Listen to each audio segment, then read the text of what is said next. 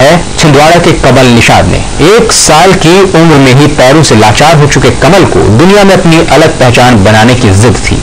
इसी जिद और मेहनत का नतीजा निकला कि कमल ने लगातार 130 घंटे पोर्ट्रेट स्केच बनाने का रिकॉर्ड पूरा किया। कमल की इस कामयाबी को हमारा सलाम। करने वाले कमल निषाद ने आखिरकार मंजिल हासिल कर ही ली। 21 मई दोपहर 12 बजे कमल का लगातार 130 घंटे पोर्ट्रेट स्केच बनाने का रिकॉर्ड पूरा हुआ। ये पल कमल के परिवार वालों और दोस्तों के लिए बेहद खुशी का था। महापौर ने सबसे पहले कमल के हौसलों को सलाम किया और फिर उसे बधाई दी। मैं तो कमल के लिए कहती हूँ कि मेहनत से नसीब बनता है, ये उतना ही सच है जितना कि प्रतिदिन सूर्य निकलता है। मैं अपनी ओर से नगर की ओर से और इस प्रदेश की ओर से भी कहूँगी कि उसको बहुत बहुत शुभकामनाएँ देते हुए उसके लिए अवश्य ऐसा प्रयास करना चाहिए।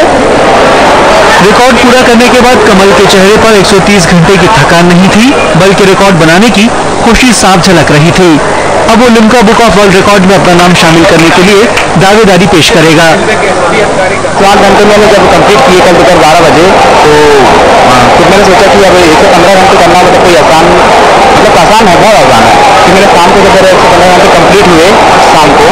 तो फिर मुझे लगा कि मैं अभी पूरी तरह स्वस्थ हूँ और मैं आगे भी अपने रिकॉर्ड को और मज़बूत बना सकता हूँ। इसलिए मैंने उसे बढ़ाया और एक सौ तीस घंटे तक उसे कंप्लीट किया। इससे पहले 108 घंटे स्केचिंग का रिकॉर्ड हैदराबाद के एक शख्स के नाम है, जिसे कमल तोड़ना चाहता था। कमल ने बुलंद हौसले और मज़बूत इरादे से अपना लक्ष्य हासिल कर ही लिया।